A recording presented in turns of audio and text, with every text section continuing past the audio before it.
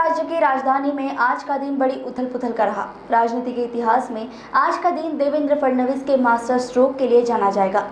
आज उन्होंने एकनाथ शिंदे के साथ पत्र परिषद लेकर स्पष्ट किया कि एकनाथ शिंदे महाराष्ट्र के मुख्यमंत्री होंगे और वे खुद मंत्रिमंडल से बाहर रहेंगे।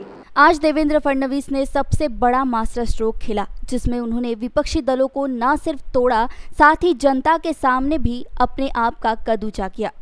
जब शिवसेना के बागी विधायक भाजपा के साथ सरकार बनाने के लिए निकले, तब संजय राउत और उद्धव ठाकरे ने बागी विधायकों को कहा था, क्या वह शिवसैनिक को मुख्यमंत्री बनाएँगे?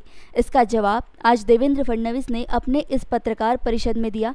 ये सच में आज विरोधकों के लिए एक सबसे बड़ा झटका था।